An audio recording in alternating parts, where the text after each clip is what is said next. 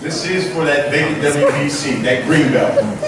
You had it. Um, and in fact, I was looking over your record. If I'm not mistaken, your first world title was a WBC belt, even at 140. What would it mean to you to have that strap? Oh, it means the world to me. Um, Why? You know, it's, a, it's a new chapter in my career. It's a new chapter in my career. Um, been in a lot of great fights. I've been in a lot of tough fights. You know, I'm a seasoned boxer. I'm a seasoned champion. And um, just regaining something that was mine. You know, it's like a it's like a bully. You know, steals your lunch money. You can't wait to get him back. And then when you finally beat his ass, it's like, yeah, I knew, I was, I knew I was a man. You try to pick on me because I was quiet. You know what I mean? So it just like one of those moments where I just kind of proved myself that, you know, I'm still the best fighter in the world.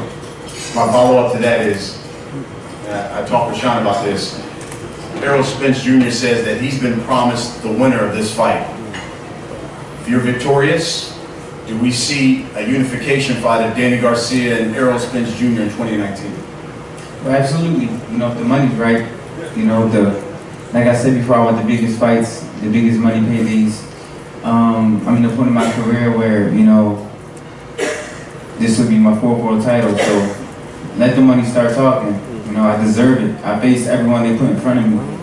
And right now it's just all about, you know, the moolah, the money. I got a family to feed. I want to have more kids.